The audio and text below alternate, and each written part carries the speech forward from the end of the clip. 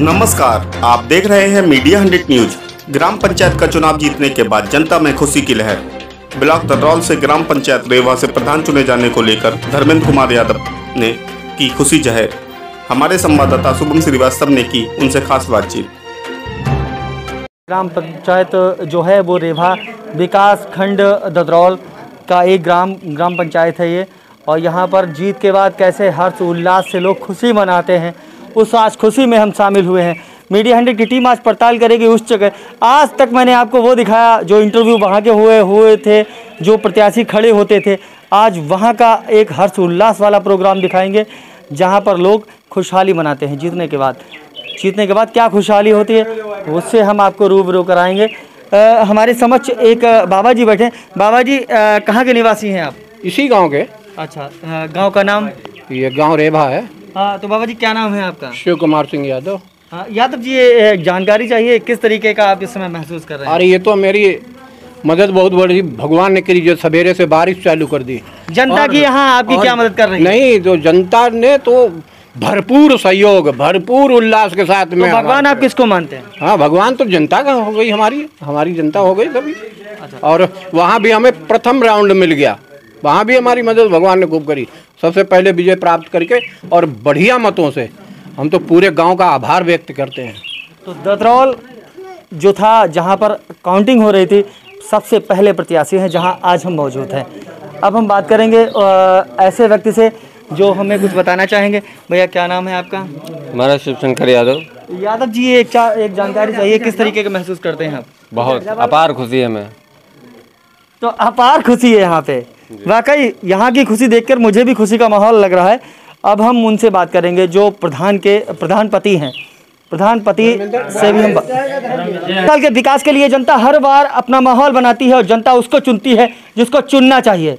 वाकई जनता का विश्वास जीत कर यहाँ पर ये पहुँचे हैं प्रधानपति प्रधानपति जी क्या नाम है आपका?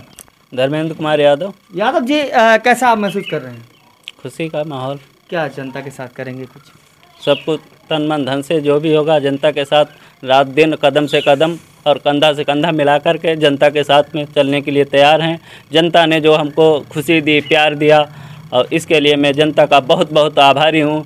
और कदम से कदम कंधा से कंधा और कदम से कदम साथ मिलाकर जनता के लिए मैं वचनबद्ध वादा करता हूँ। चाहे दिन रात्रि का बारह बजा हो और चाहे दिन का बारह बजे हो मैं उसके लिए संपूर्ण सहयोग करने के लिए तैयार हूँ।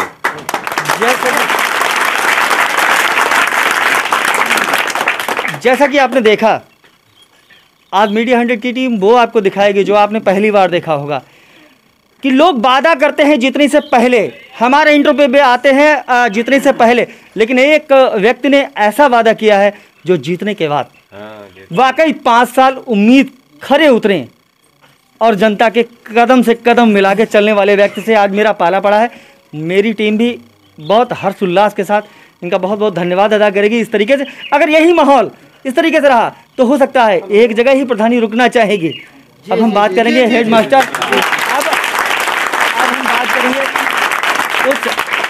अब हम उनसे बात करेंगे जो उनके पिताजी हैं जिनकी पुत्र वधु ने इलेक्शन जीता है और उन्होंने अपने पा अपनी पूरा जीवन अपना पूरा जीवन शिक्षा में ही गुजार दिया बच्चों को शिक्षित करने में। वो है हेड मास्टर हाँ। मास्टर साहब ये बताना चाहेंगे आपको कैसा महसूस हो रहा है? आपने पूरी जीवन बच्चों को शिक्षा दी है। तो उसके बारे में क्या कुछ आज कहना चाहेंगे? हमें तो आज बड़ी भारी खुशी ये मालूम हो रही है कि लोग हिंदुओं हिंदू मुसलमान से नफरत रखते थे। मुसलमान हिंदुओं से नफरत करते थे। लेकिन आज मुझे ऐसा माहौल मालूम हो रहा है कि हम हिंदू और मुसलमान सब एक हो करके एक मंच पर आए और सबने लोगों ने वोट डाला और हमको विजय प्राप्त हुई। हम चाहते हिंदू मुस्लिम एकता जिंदाबाद बनी रहे बनी रहे बराबर। हम लोगों का माहौल बिगड़ने न पाए ये मुझे अपार खुशी है। ऐसी खुशी मैंने आज तक नहीं देखी है। आज मुझे बहुत अच्छा लगा कि आज वाकई हम इस आ, आ, इस समाज में इस ग्राम पंचायत में आए वाकई शिक्षित लोगों के बीच। बहुत अच्छा लगा।